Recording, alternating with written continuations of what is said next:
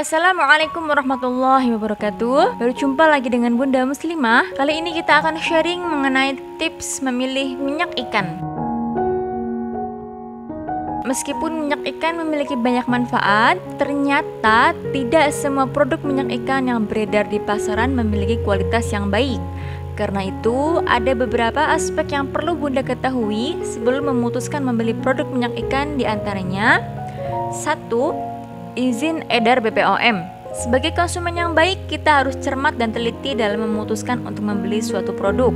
Minyak ikan tidak berbeda dengan obat-obatan dan suplemen pada umumnya, rentan terhadap kontaminasi. Saat memilih suplemen minyak ikan, pastikan suplemen tersebut memiliki nomor BPOM atau izin edar dan diproduksi oleh produsen suplemen dan obat-obatan yang terpercaya. Periksa kembali segel dan label yang tertera pada kemasan untuk menghindari kekeliruan produk. 2. Pilih merek terpercaya.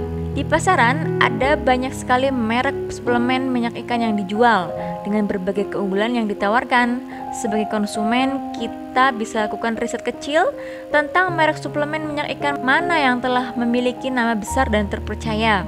Biasanya merek yang terpercaya bisa dilihat dari penghargaan internasional maupun yang banyak direkomendasikan dokter. 3. Keterangan sumber ikan. Merek minyak ikan terpercaya pasti menyantumkan segala informasi tentang produknya secara lengkap pada kemasannya, termasuk dalam hal dari mana sumber ikan berasal.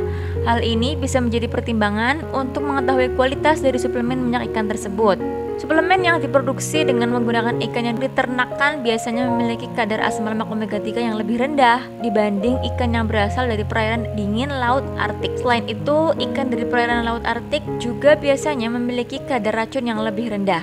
4. Berstandar internasional. Standar yang biasa digunakan adalah ditetapkan oleh negara-negara Eropa yaitu European Pharmacopoeia Standard atau EPS atau International Fish Oil Standards atau IFOS. Standar itu menjamin kualitas produk dengan menetapkan kadar maksimal yang diperbolehkan terhadap kandungan peroksida, logam berat, dioksin, fuan, dan PCB. 5. Proses dan lokasi produksi. Perlu juga untuk mencari tahu proses dan lokasi manufaktur dari produk suplemen minyak ikan yang akan dibeli. Meski terdengar sulit, sebenarnya hal ini mudah kok bun. Bunda hanya perlu menemukan tulisan molecular distillation atau distilasi molekuler pada label kemasan. Untuk mengetahui spesifikasi fasilitas manufakturnya dengan mencari kata GMP pada label. GMP atau grade farmasi pharmaceutical grade adalah jenis fasilitas yang digunakan untuk obat yang memerlukan resep dengan kualitas kontrol yang ketat. Jika perlu, lakukan pencarian di internet tentang lokasi pabrik dari merek suplemen minyak ikan yang akan Bunda beli. Semakin dekat lokasinya dengan laut atau sumber ikan,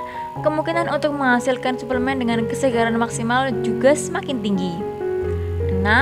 Harga Produk suplemen minyak ikan yang murni segar dan berkualitas biasanya akan dihargai dengan biaya yang tidak murah. Biasanya harga suplemen minyak ikan berkisar 200 hingga 300 ribu per botolnya.